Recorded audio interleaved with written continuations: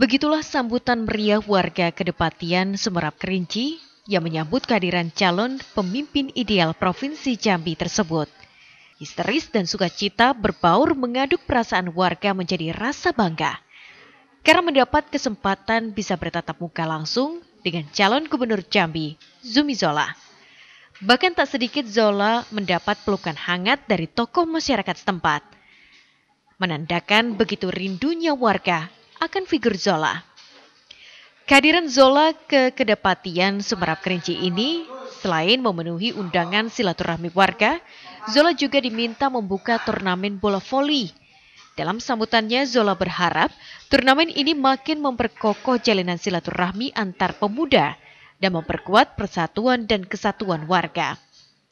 Ketua Umum Pengrop Perbasi Provinsi Jambi ini juga mengharapkan turnamen ini menjadi tontonan yang menghibur bagi warga setempat.